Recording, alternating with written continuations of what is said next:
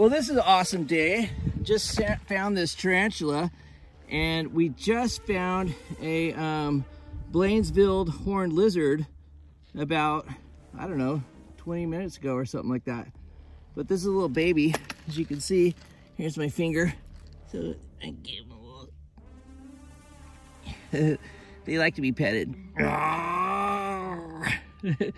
anyway, that's why I love tarantulas. They're so cool. They're so much better than stupid tarantula hawks. Anyway, see you, dude.